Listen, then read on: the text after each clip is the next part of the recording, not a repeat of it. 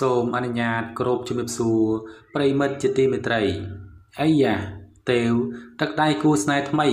ដើរលេងជុំមិត្តភ័ក្តិកាន់តែផ្អែមល្ហែមបំផុតតារាសម្ដែងស្រីជួមុខទេវណតផនកំពុងមានក្តីសុខនឹងចំណងស្នេហ៍ថ្មី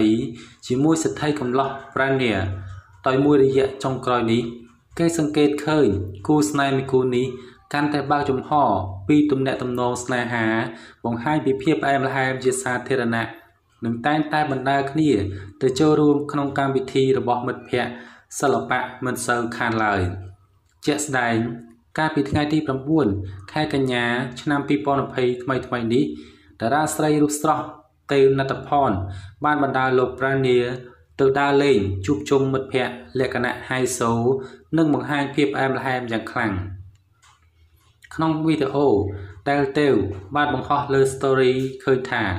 នាងនិងកំឡោះហៃសូកំពុងតែម៉ាស្សានៅក្បែរគ្នា ហើយនាង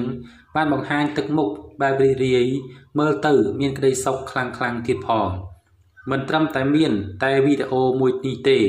ទេវនឹងគូស្នេហ៍ថ្មីរូបនេះ បានបង្ហោះលើសកម្មភាពដើរលេងរបស់ពួកគេមានដូចជាជិះកប៉ាល់ជិះទូក និងញ៉ាំអាហារក្រោមពន្លឺភ្លើងទៀនជាមួយនឹងគូស្នេហ៍មិត្តភ័ក្តិដទៃទៀតយ៉ាងមានក្តីសុខបំផុតអ្វីដែលគួរឲ្យចាប់អារម្មណ៍នៅក្នុងដំណើរកម្សាន្តលើកនេះ មានការចូលរួមពីមិត្តភ័ក្តិសម្លាញ់របស់នាង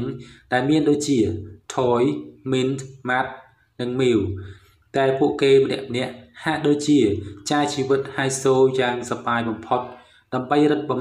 ន្តឹងចំណងមិត្តភាព ឲ្យកាន់តែល្អអឿនថែមទៀត